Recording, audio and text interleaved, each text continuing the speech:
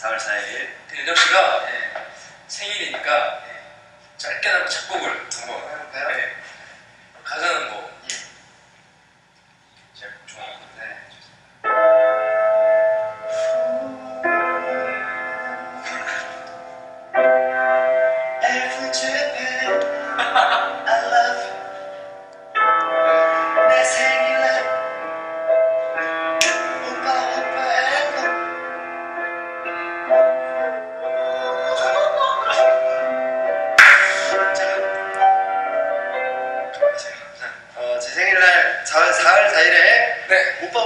여러분 찾아뵙겠습니다. 우리 일본에 계신 팬 여러분 조금만 기다려 주시고요. 어, 제 생일에 나오는 어, 앨범이니만큼 의미가 담긴 앨범이니까 여러분 많이 사랑해 주시고 저희 동해랑 민혁이 많이 기다려 주세요. 저희가 여러분 찾아가잖아요. 언제 찾아가죠? 저희가 4월 네, 며칠이요? 11일이요. 네. 저희가 네, 4월 11일에 네. 여러분들과 함께하는 시간 만들었으니까요. 여러분들 네. 많이 오셔가지고 함께 좋은 시간 만들었으면 좋겠습니다.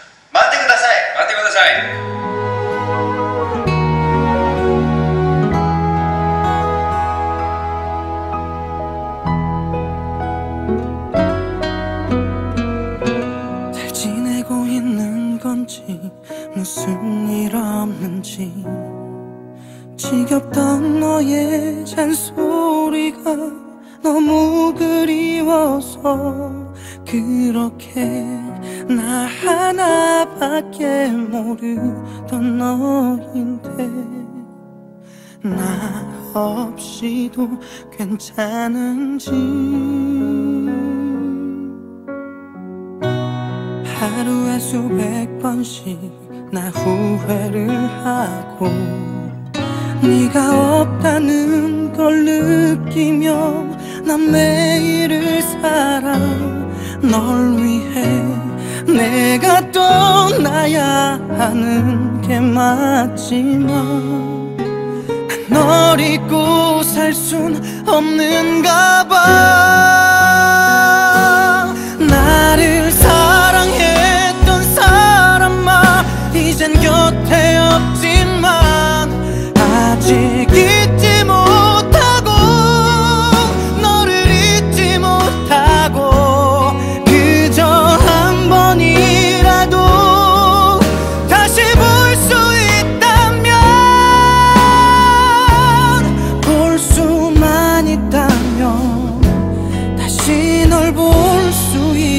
있다면